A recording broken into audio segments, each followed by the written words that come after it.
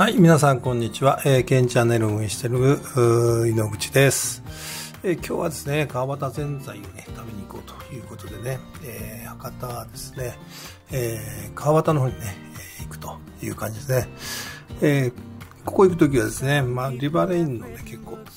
えー、地下のね、駐車場を利用するということでね、まあ、30分160円しますけどね、えー、まあ、2時間もね、いたらいいようですのでね、え、まあ、よくね、ここ、リバインの駐車場を利用させていただいてます。えー、まあ、ここの道路はね、そう混まないしね、で、ここの駐車場自体もね、まあ、満車っていうのはね、あんまりないような気がするんですよね。えー、ここ行けば必ず空いてるからですね、ここ入りますね。えー、川端はいつも、ここなんですけど、まあ、ここはね、またね、ちょっと、まあ面白いというかね、えー、ちょっとね、特別なことがありましてね、まあ、ここにはね、言えませんけどね、まあ、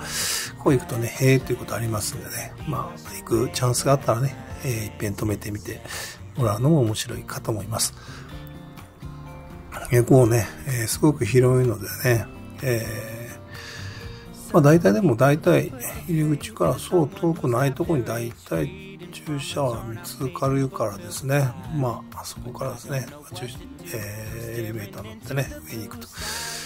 いうことなんで、まあ、リバレインの駐車場でもありますんでね、えー、まあ、エレベーターいっぱいあるしね、え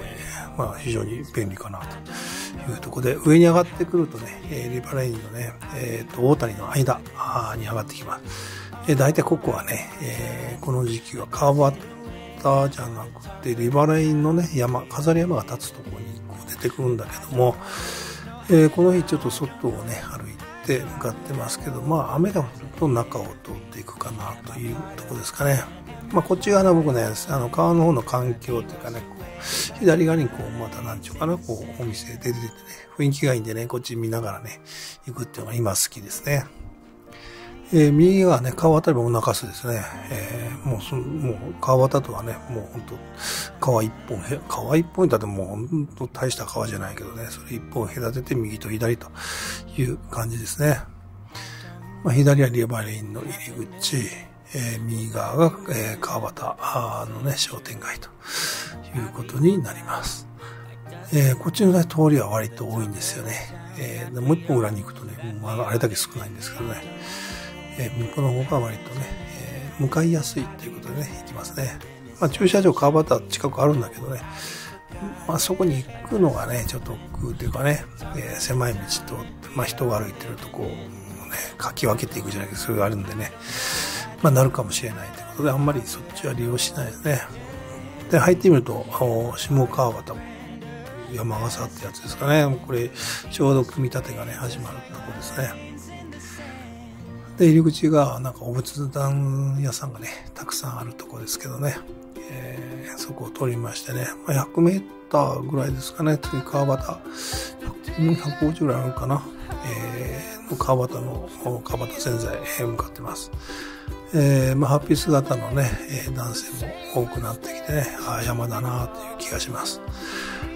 これ左ちょっと見ると駐車場がね、これなんと、あの、立体のがあるじゃないっていう感じでね、できてるんで、えー、ちょっとあんまりこの辺来ないではね、えー、知りませんでしたけど、ちゃんとあるのはあるねっていう感じですね。はい、えー、まっすぐね、えー、行ってるところ先の方に、えー、川端の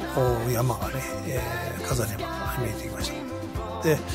この日はたまたまね、この場所だったけど、手前に、えー、川端洗剤ということでね、まあ、これ吹き吹き抜けないですね。これ店じゃないんですけどね、ある意味。えー店の中にあるんじゃなくてこういう吹き抜けの場所にね、えー、やってます、えー、こうね食券を買って、えー、まあ、えー、食べるんですけどね。まあこう食券まず買うっていうね、まあ、まずね中にはね座るとこあるかなと覗くのがまず一番ですね。もう座るとこなきゃねあのかき氷持ってどうしようもないからですね、えー、まずは、えー、中のね様子見て、まあ、座れそうだったら買ってね。えー、まあ、まあ、こういう時期はね、排斥になってもいいとは思うんでね、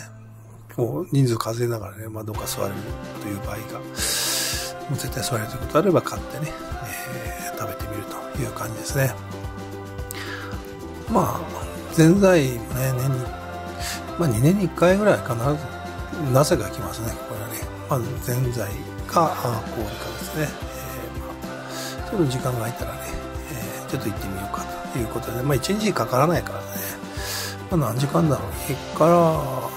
1時間ぐらいですかね。えー、なんでね、ちょっと行ってみようかというと、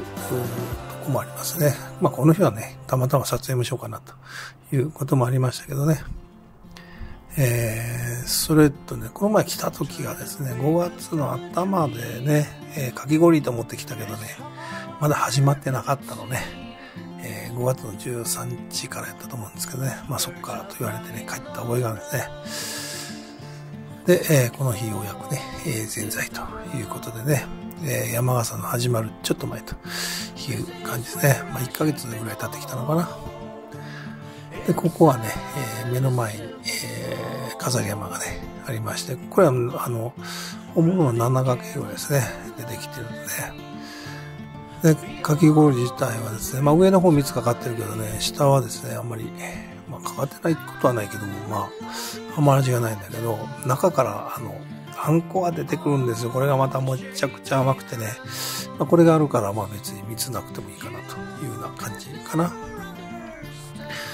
で、まあこういうね、えー、なんていうかな、うん、まあいわゆるもう、ここはもう観光客のためのね、まあ施設だと思っていいと思うんですよね。で、こういう場所があるんでね、僕たち宿泊するね、えー、お店というかね、店舗もね、まあ助かるんだなと思います。まあ、こういうハード的にしっかりあるとかね、あとソフト的、まあソフトはまあ山自体が動く時とかにもあるんですけど、まあ歌う人とかパフォーマンスする人ね、そういうライブハウスであったりとかね、そういうのがあるっていうのは本当に、まあ嬉しいことだなと思いますね。まあ、